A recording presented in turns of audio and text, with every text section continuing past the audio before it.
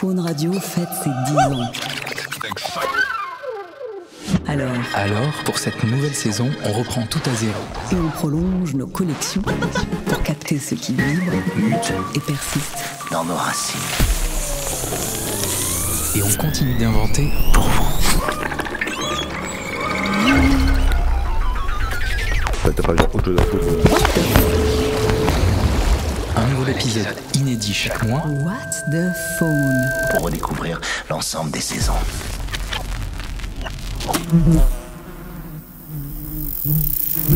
Game of Faune.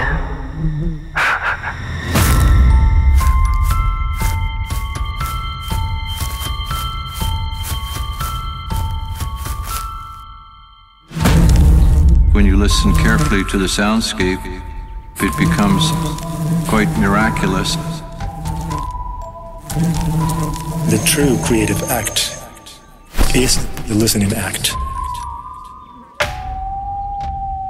There's many other layers of reality and connection to the world that we might access through sound. C'est l'idée d'aller dehors, mais aussi de laisser la forêt emménager dedans.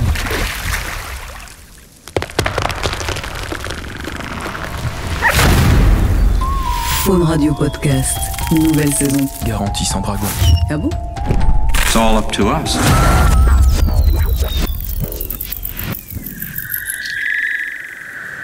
Pour cette nouvelle saison de podcast, Faune Radio continue de se jouer de tout.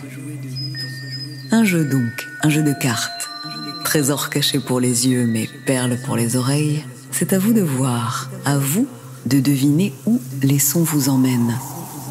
Immersion, indices et décryptage, une exploration au cœur de la grande énigme du vivant, guidée par des amoureux du paysage sonore, pour raconter un lieu et retrouver un lien. En bref, activez l'écoute.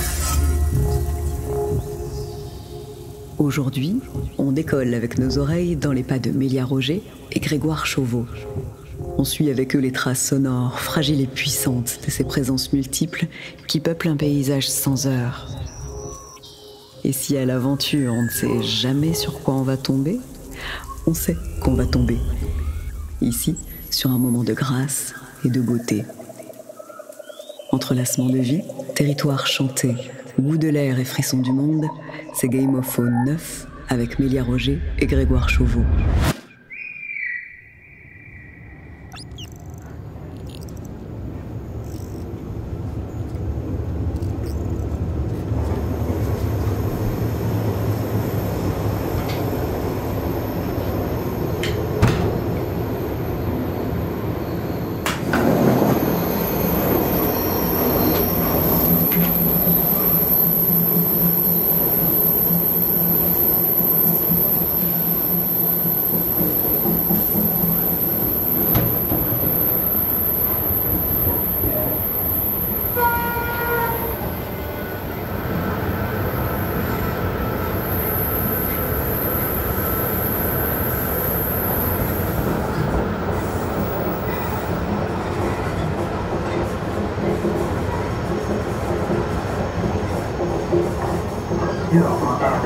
Tågsberg.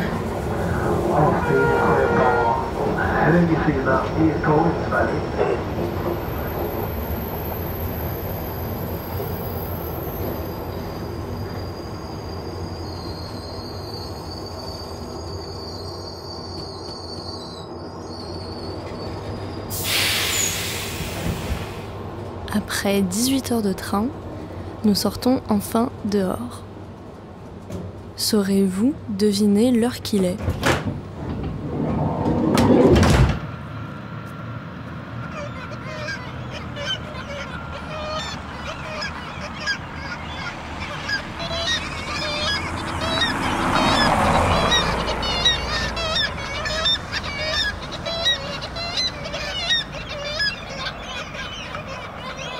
À 23 heures, les mouettes tridactyles et les goélands cendrés ne dorment toujours pas.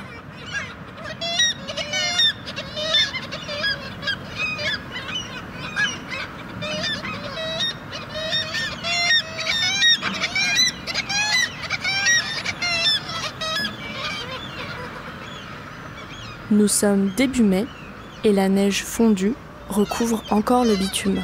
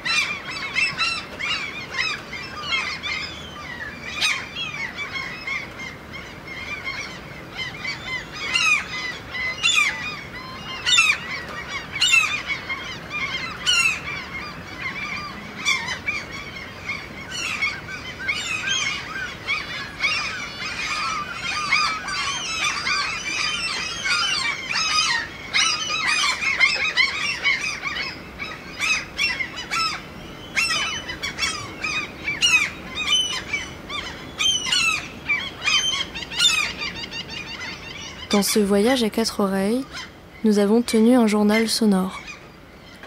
Ne sachant où aller, nous avons suivi les recommandations d'un ornithologue local pour observer des espèces que nous n'avions jamais vues. Donc tourne à côté d'un des lacs. On a vu du lagopède, du pluvier, de la harlupée, et voilà.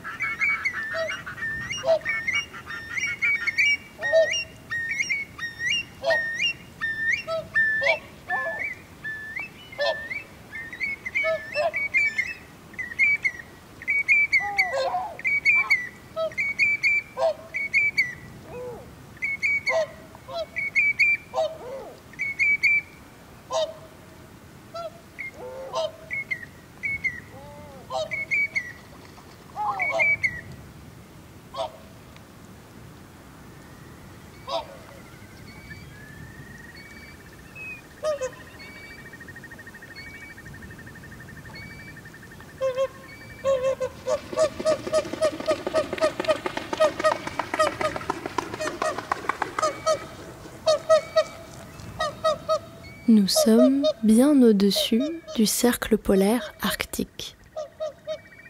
Sur les terres des Samis, la glace fond sous nos pas et l'eau s'infiltre entre les collines.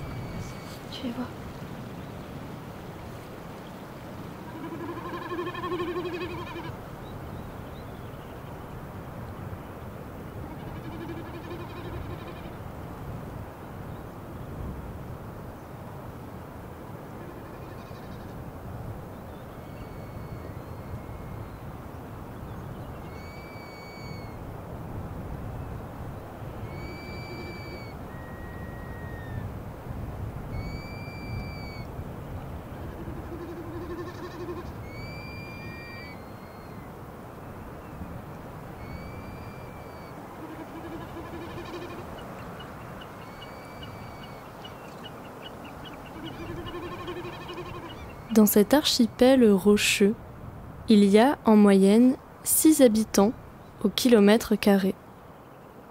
Nous nous retrouvons vite seuls. Chaque île, chaque fjord nous paraît différent. À quelques kilomètres, nous voilà enfin arrivés au printemps.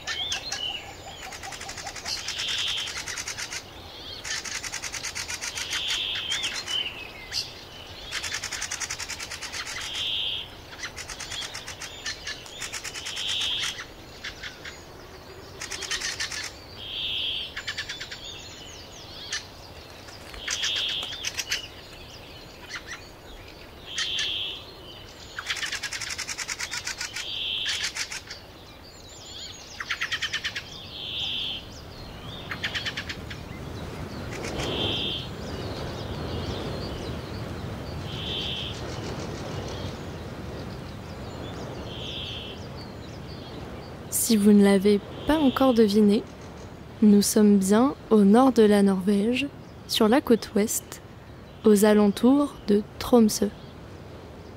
À cette période de l'année, la nuit n'arrive jamais. Les colonies de mouettes tridactyles envahissent les villes et la cohabitation n'est pas toujours facile. Les habitants leur fabriquent même des hôtels pour qu'elles nichent ailleurs que sur leur toit. Le son des moteurs reste présent aux abords des ports, mais en s'éloignant des villes, la beauté sauvage des îles nous rappelle la fragilité de notre environnement. L'île de Vanoya nous a fait voyager dans une autre saison. Son eau bleu turquoise tranchait avec la neige de ses montagnes. Le vent y était intense et bouchait parfois notre écoute. Les lagopèdes des saules, les plongeons catmarins, les cygnes chanteurs, les combattants variés et les pluviers dorés restent des présences animales qui auront marqué notre voyage. Un long retour en train nous attend. Enfin, nous remercions Stine Nielsen, contacté sur Xenocanto, pour tous ses conseils.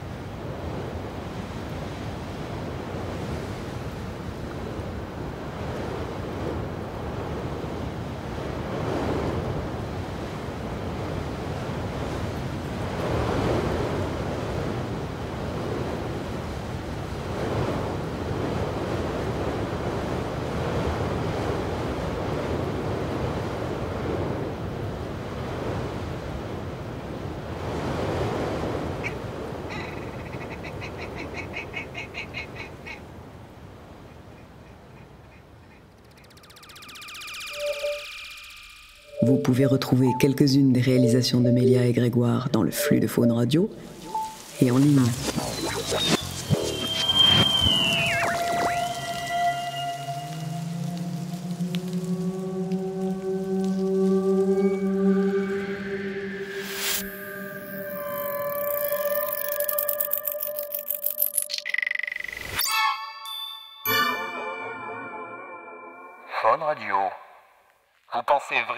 Vraiment qu'on